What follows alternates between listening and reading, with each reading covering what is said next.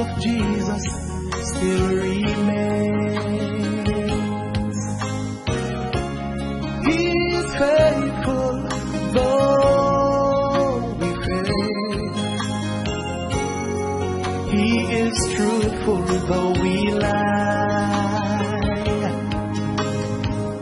He died that I